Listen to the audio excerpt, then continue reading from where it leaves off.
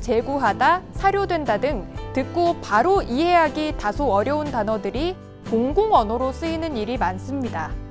공공 언어는 일상에서 흔히 쓰이기 때문에 누구나 이해하기 쉬워야 하는데요. 오늘은 어려운 한자어를 조금 더 쉬운 우리말로 바꿔서 알려드립니다. 88 서울올림픽은 모든 올림픽에 귀감이 됐다. 우리 지역 활동 사례가 다른 지역에도 귀감이 되고 있습니다. 귀감은 거울로 삼아 본받을 만한 모범을 뜻하는 한자어인데요. 어려운 한자어보다는 쉽게 이해할 수 있는 우리말, 본보기로 바꾸면 어떨까요? 88 서울올림픽은 모든 올림픽의 본보기가 됐다. 우리 지역 활동 사례가 다른 지역에도 본보기가 되고 있습니다.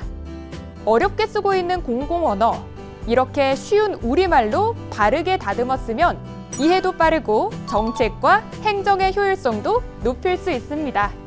귀감이란 한자어 대신 의미가 바로 전달될 수 있도록 본보기로 사용해 주세요.